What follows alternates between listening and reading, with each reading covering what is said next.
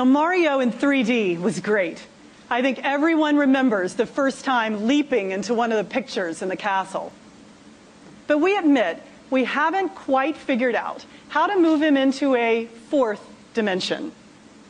But that number, four, that's the key to Mario's next surprise. For the last 15 years, Mr. Miyamoto has been thinking about one new way to let you play a Mario game that's never been possible before. Today, here's his answer. New Super Mario Brothers for Wii. To explain and demonstrate, please welcome Bill Trinen from our Treehouse Group. Bill? Thank you, Cammie.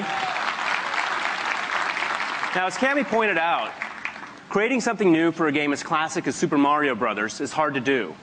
We managed to do it on Nintendo DS, and 18 million people around the globe appreciated the surprise that that game had to offer.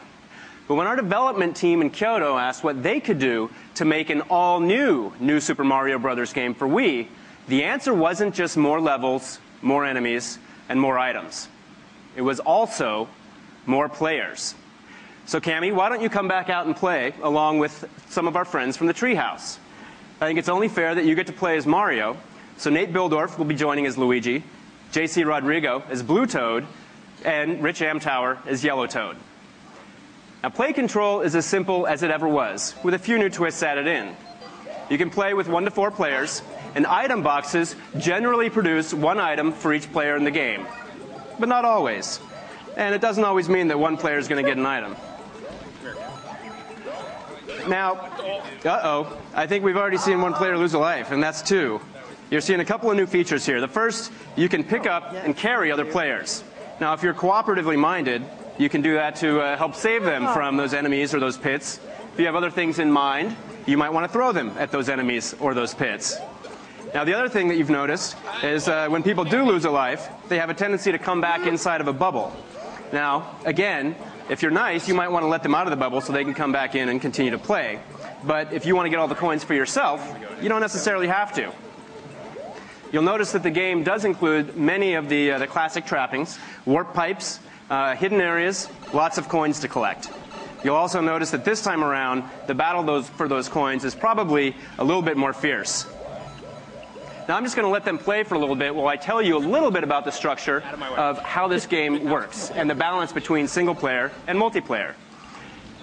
The main mode of the game you can play in single player mode. Or, if you want to, you can play it in co-op with up to four players.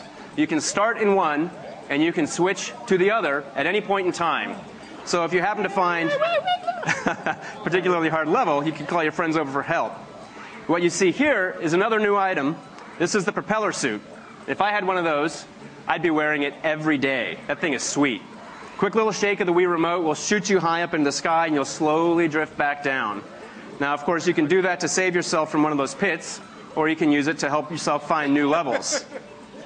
Uh-oh. Looks like uh, Blue Toad uh, had a little trouble there. I wonder if anybody's going to... Oh, let him out. Very nice. Now you can see that with four players, there's a lot going on. The screen is nice enough that it'll pan out to a much wider view when people spread out. Uh, but if the player at the lead goes a little bit too fast, uh, you may find that uh, if you're at the back, you get wiped off screen. Stop that. You'll also find uh, some nice use of uh, hidden areas, uh, pipes and things like that as well. And I think at this point we're probably getting closer to the end of the game, or at least the end of this level at any rate. Yes, sliding, more propeller suits. And here we get to the end of the level. Oh, Luigi. Now, as soon as one player touches the flagpole, the others have about three seconds for them to grab on if they want to get any bonus points.